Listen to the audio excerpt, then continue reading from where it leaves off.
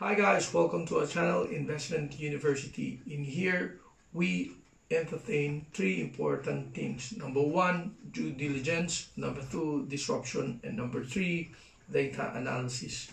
Not in particular order. This channel exists to provide content that are geared toward producing uh, that are geared toward producing the next market leader in the financial market. Uh, I get I get a great content coming off, and I have three of the most important charts that you will ever see for an upcoming highlight in the breakout of Tron, the Tron coins uh, created by Justin Sun's. Three technical analysis, the chart that you have to look into to tell you that there is something big that is coming in. By the way, I am wearing a Tron t-shirt and uh, I will be doing a financial technical analysis on Tron.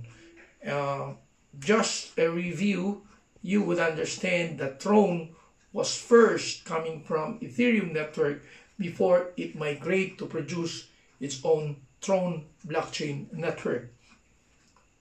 Cardano was once in Ethereum who tries to be Ethereum and has not reached that same level, whereas Tron by Justin Sun's milestone after milestone has made a lot of projects that are viable. Stay tuned for another video on the episodes of the three most important technical analysis chart that will tell you a soon breakout from this financial asset is coming.